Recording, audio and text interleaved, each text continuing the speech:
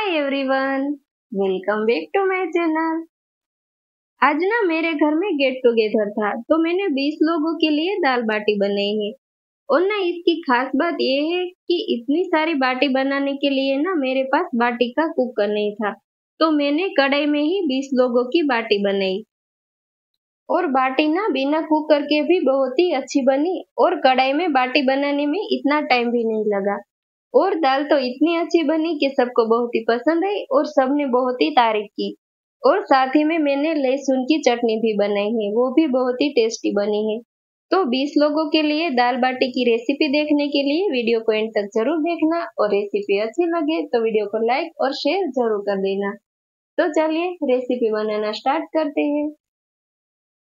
तो सबसे पहले ना मैंने यहाँ पे पाँच दाल ली है। इसमें मैंने एक कप मसूर की दाल एक कप चना दाल, एक कप उड़द दाल और एक कप मूंग की दाल और फिर मैंने यहाँ पे एक कप तुअर की दाल ली है। सारी दाल मैंने एक एक कप, यानी कि इक्वली ली है।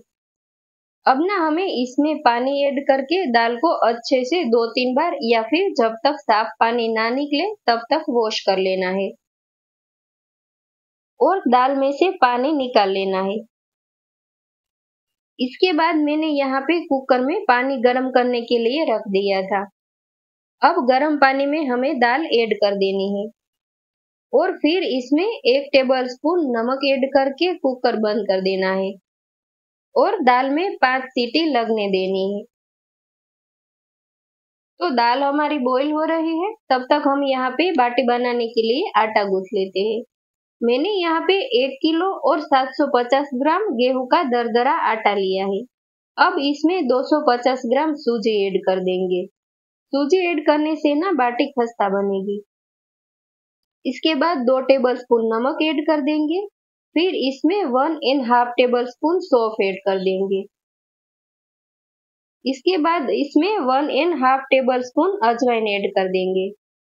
और फिर बाटी को हल्का सा येलो कलर देने के लिए इसमें हाफ़ टेबल स्पून हल्दी ऐड कर देंगे।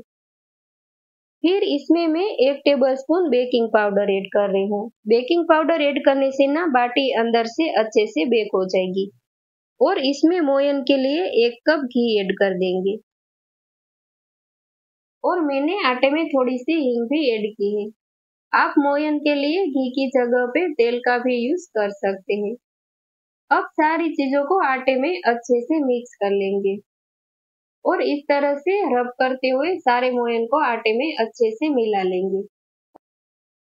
और इस तरह से चेक करने से अगर मुट्ठी बन रही है, इसका मतलब इसमें मोयन परफेक्ट पड़ा है। अगर मुट्ठी नहीं बन रही है तो आप थोड़ा और घी ऐड कर सकते हैं। अब हमारे कुकर में भी पाँच सीटी लग चुकी है तो गैस की फ्लेम को बंद कर देंगे। और आटे में थोड़ा थोड़ा पानी ऐड करते हुए सख्त आटा गूंथ लेना है। और ना हमें बाटी का आटा नरम नहीं गूंथना है। आटा हमें थोड़ा सख्त रखना है, तभी हमारी बाटी खस्ता बनेगी। और इस तरह से ज़रूरत के हिसाब से थोड़ा थोड़ा पानी ऐड करते जाना है और बाटी का सख्त आटा गूंथ लेना है। तो मैंने यहाँ पे बाटी का आटा गूंथ लिया है। अब इसे ढककर थोड़ी देर के लिए साइड में रख देंगे। अब हमें यहाँ पे बाटी पकाने के लिए कढ़ाई को गैस के ऊपर रख देना है और इसमें नीचे नमक ऐड कर देना है। मैं यहाँ पे यूज़ किया हुआ नमक ले रही हूँ और मैं इस नमक को ना बाटी, पिज्जा, केक वगैरह बनाने में यूज़ करती हूँ। और कढ़ाई में नमक ऐड करने के बाद ऊपर इस तरह का स्टैंड या फिर जाली रख देंगे और इसे कवर करके सात आठ मिनट के लिए प्रीहीट करने के लिए रख देंगे। उन्हें इस तरह से स्पून या फिर चप्पू रख देना है, क्योंकि कभी कभी क्या होता है, इसमें एयर भर जाने की वजह से ना ढक्कन खुलता नहीं है और टाइट हो जाता है। इसलिए स्पून रखने की वजह से ढक्कन थोड़ा सा खुला रहेगा। अब जब तक हमारी कढ़ाई प्रीहीट हो रही है, तब तक हम यहाँ पे बाटी बना लेते हैं। और बाटी बनाने के लिए आटे में से थोड़ा डो लेना है, और ज़्यादा बड़ी भी नहीं, और ज़्यादा छोटी भी नहीं, इस तरह की बाटी बना लेनी है।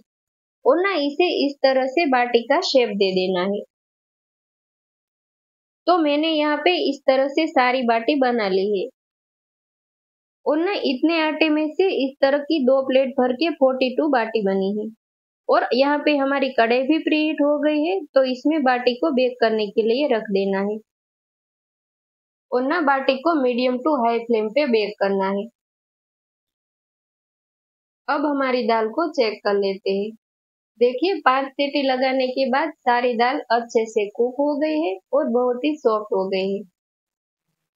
अब ना दाल में तड़का लगा लेते हैं। तड़का लगाने के लिए बड़े बर्तन में चार टेबल स्पून तेल ऐड कर देना है। और तेल गर्म हो जाए, फिर इसमें one and half tablespoon राई ऐड कर देनी है। राई ऐड करने के बाद one and half tablespoon जीरा ऐड कर देना है। और इसके बाद दो सूखी लाल मिर्च ऐड कर देनी है। फिर एक टेबल स्पून हींग ऐड कर देनी है। और फिर मैंने यहाँ पे 10 बार तीखी हरी मिर्च और 10 बार लहसुन की कलियों को साथ में क्रश कर लिया है। वो इसमें ऐड कर देंगे। और साथ ही में तीन टेबल स्पून ग्रेट किया हुआ अदरक की पेस्ट ऐड कर देंगे। और सारी चीज़ों को अच्छे से मिक्स कर लेंगे।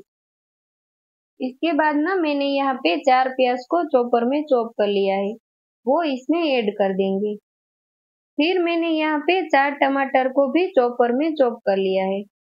टमाटर भी हम इसमें ऐड कर देंगे। और प्याज और टमाटर को हम सॉफ्ट हो जाए तब तक पकने देंगे। और बीच बीच में बाटी को भी पलटते रहेंगे, जिससे बाटी चारों ओर से इक्वली बेक हो सके। इस तरह से बाटी को पलटकर फिर से ढककर पकने देना है। और ना यहाँ पे हमारे प्याज और टमाटर भी सॉफ्ट हो गए हैं। अब इसमें मसाले कर लेते हैं। पहले इसमें एक टेबल स्पून हल्दी ऐड कर देंगे। इसके बाद दो टेबल स्पून लाल मिर्च का पाउडर ऐड कर देंगे और दो टेबल स्पून धनिया जीरा पाउडर ऐड कर देंगे। फिर इसके बाद हाफ़ टेबल स्पून गरम मसाला ऐड कर देंगे और दो टेबल स्पून नमक ऐड कर देंगे। नमक हमने दाल को बॉईल करते वक्त भी यूज़ किया था, इसलिए इसके हिसाब से नमक ऐड कर रही हूँ। अब ना सारे मसालों को थोड़ी देर भून लेना है, जिससे सारे मसालों का फ्लेवर दाल में बहुत ही अच्छा आएगा। मसालों को एक दो मिनट भूनने के बाद इसमें बॉईल की हुई दाल ऐड कर देंगे। और दाल को ग्रेवी के साथ मिक्स कर लेंगे। जब दाल और ग्रेवी अच्छे से मिक्स हो जाए, फिर हम इसमें दाल की कंसिस्टेंसी सेट करने के लिए पानी ऐड कर देंगे। आपको इसमें दाल कितनी गाढ़ी रखनी है, इस हिसाब से पानी ऐड करना है। लेकिन बाटी की दाल को बहुत ज़्यादा पतली भी नहीं और बहुत ज़्यादा गाढ़ी भी नहीं, इस तरह की रखनी है। दाल में पानी ऐड करने के बाद दाल को पकने देना है और यहाँ पे हमारी बाटी को चेक कर लेते हैं। देखिए, बाटी अच्छे से बेक हो चुकी है। अब सारी बाटी को निकाल लेंगे और कढ़ाई में दूसरी बाटी को बेक होने के लिए रख देंगे। और ये हमारी बेक की हुई बाटी गरम गरम हो, तभी इसको घी में डीप कर लेना है। और ना इस तरह से सारी बाटी को घी में डीप कर लेंगे। और ना बाटी की एक बेच को बेक होने में लगभग 20 से 25 मिनट का टाइम लगता है। अब हम लहसुन की चटनी बना लेते हैं। चटनी बनाने के लिए मैंने एक टमाटर और एक प्याज को रफली चॉप करके मिक्सर जार में ऐड कर दिया है। फिर इसमें 15 से 20 लहसुन की कलियाँ ऐड कर देंगे और फिर तीन टेबल स्पून लाल मिर्च का पाउडर ऐड कर देंगे। फिर इसमें थोड़ा सा नमक और थोड़ा सा पानी ऐड करके इसकी स्मूथ पेस्ट बना लेंगे। मैं यहाँ पे ट्रेडिशनल राजस्थानी लहसुन की चटनी नहीं बना रही हूँ। मैं इसे अपने तरीके से बना रही हूँ और ये भी खाने में बहुत ही टेस्टी लगती है। अब यहाँ पे हमारी दाल भी अच्छे से कुक हो चुकी है। अब इसे साइड में रख देंगे और लहसुन की चटनी को पका लेंगे। चटनी बनाने के लिए मैंने यहाँ पे तीन टेबल स्पून तेल लिया है। इसमें हमने लहसुन और लाल मिर्च की पेस्ट बना के रखी थी, वो ऐड कर देनी है। और इसे तेल सेपरेट हो जाए, तब तक पका लेना है। अब चटनी हमारी पक रही है, तब तक बाटी को चेक कर लेते हैं। और ये देखिए, बाटी भी हमारी अच्छे से बेक हो चुकी है। अब सारी बाटी को घी में डीप कर लेंगे। और यहाँ पे हमारी लहसुन की चटनी भी बन के रेडी हो चुकी है। तो ये हमारी 20 लोगों के लिए डिलीशियस दाल बाटी और लहसुन की चटनी बन के रेडी हो चुकी है। आपको आज की रेसिपी कैसी लगी? कमेंट करके ज़रूर बताना। और वीडियो अच्छी लगी हो तो वीडियो को लाइक शेयर और साथ ही में नई नई रेसिपीज़ के लिए चैनल को सब्सक्राइब ज़रूर कर देना। अब मिलते हैं नेक्स्ट वीडियो में नई और परफेक्ट रेसिपी के साथ। तब तक के लिए बाय थैंक यू एंजॉय